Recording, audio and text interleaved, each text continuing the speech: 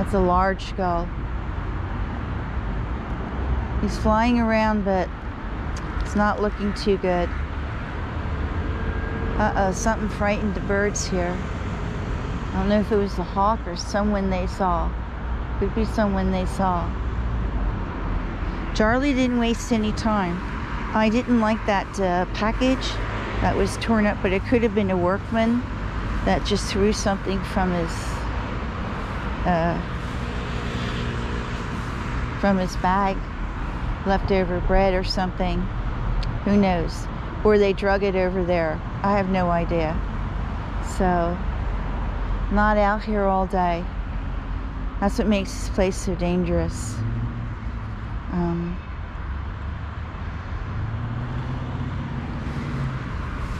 if you can see this. Hawk wants to land.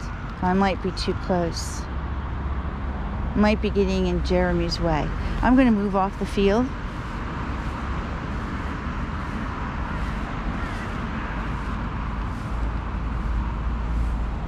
I'll have to tell you, there won't be much left for Jeremy by the time he gets down.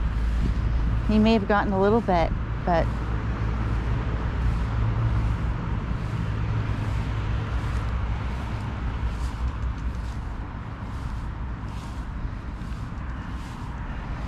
I have to say, the roof, we know this rain we have, and the roof is already cleaner because it really works at getting the uh, the soot off the roof. The rain helps, but you still have to power blast it to really to really get it all off.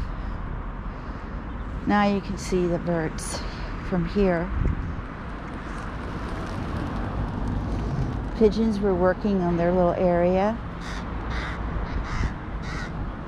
Uh, something here they didn't like. Someone's giving out the call here. One of the crows is giving out the alarm for some reason.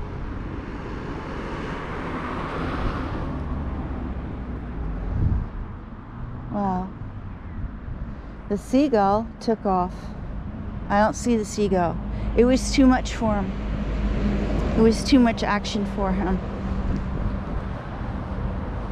See, I think I got a couple of peanuts left. Now I'm further away from the field. Maybe Jeremy will come down. We'll see.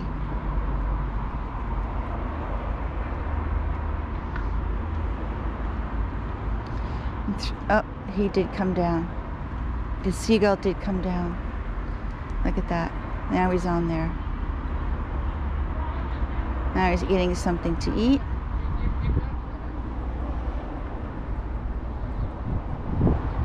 That's our tagged gull. You see, um, he's been raised in captivity or he was hurt, and but he's he's imprinted on being fed. Um, and so for him, this is uh, this is something he might be familiar with. Where he's just he's not he never was any part of any flock. He's always been a loner, and uh, so he comes here. He knows he can get something to eat here, and uh, maybe he's having trouble fending on you know for food, looking for food on his own. I don't know but he's been here since October, since he came with the uh, with the large group of seagulls. So, uh, yeah, it's amazing. Uh, but what are you gonna do? I mean, obviously he's hungry. He's not finding the food that he needs along the lake.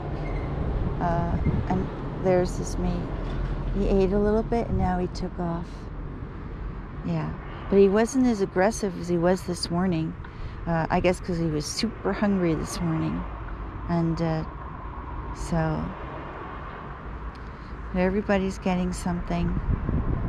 Hopefully, everybody got something. I'm going to throw a couple of peanuts out here. I got a couple of peanuts. I'm not going to take pictures with my other camera because I'm afraid. Oh, I don't have any peanuts. Oh, I thought I had some in the car. That's very sad. Okay, so I got nothing to throw out here. But like I say, the birds will get something this evening. So, I'm going to sign off this video. Uh, you can see the birds. And we'll be out here this evening. And I'm not sure where where Jeremy is. He was here. Actually, I don't see any hawks flying around. So this is DC Danton Crow Crusader. I'm going to go home now, uh, upload this video, and then I'm going to. Uh, oh, someone walking by. Don't want him in my video. Then I'm going to uh, answer your comments. Okay, this is DC Danton Crow Crusader uh, until uh, this evening. So I'll be out here about between 7 and 7.30, uh, about an hour before nightfall. And uh, they'll, they'll get another treat. So maybe we'll wait closer to 8 o'clock when the Migros people are gone, when the shopping center's closed.